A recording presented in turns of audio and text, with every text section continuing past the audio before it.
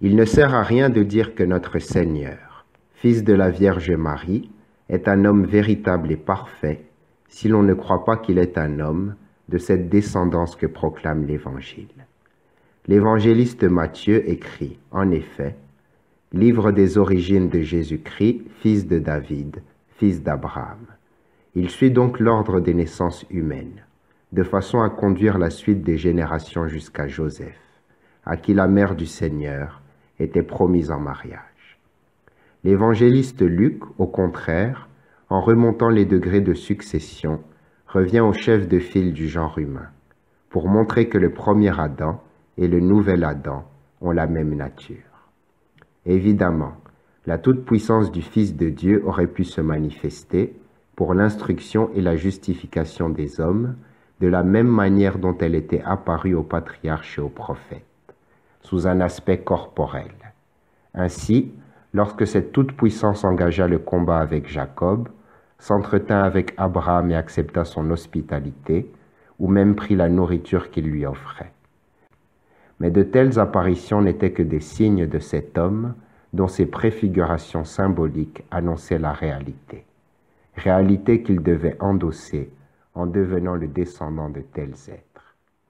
Et c'est pourquoi aucune de ces figures ne pouvait accomplir le mystère de notre réconciliation, pourtant préparé de toute éternité.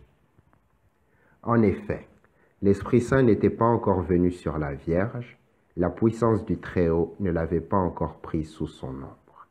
Il fallait cela pour que, dans ce sein immaculé où la sagesse lui construisait une demeure, le Verbe se fit chair. Il le fallait pour que la nature divine et la nature humaine, se rencontrant dans une seule personne, le Créateur du temps naquit dans le temps, pour que celui par qui tout a été fait fut engendré parmi toutes les créatures.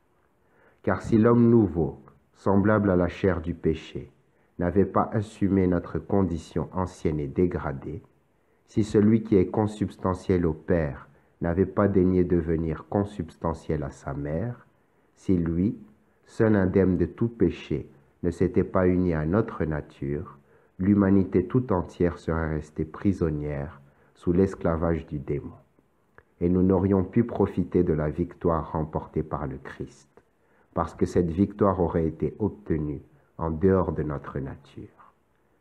Le sacrement de notre régénération a brillé pour nous en vertu de cette participation étonnante à notre nature. Si la conception et la naissance du Christ ont été opérées par l'Esprit, c'est en vertu du même Esprit que nous-mêmes nous pouvons renaître.